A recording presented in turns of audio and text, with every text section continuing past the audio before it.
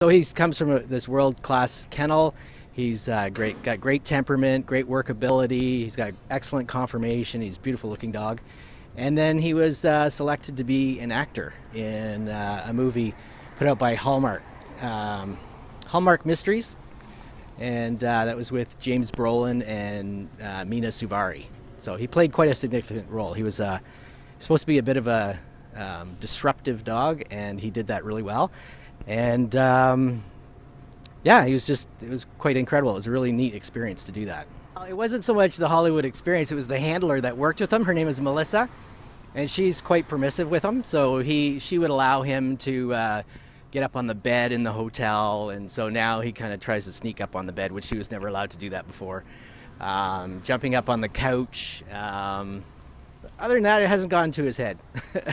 he's uh, he's great with my son. He, uh, you know, very affectionate. He's uh, he's a very low maintenance dog. He's actually he's kind of like having a cat in the house, but when he gets out, he likes to run around and, and do his thing.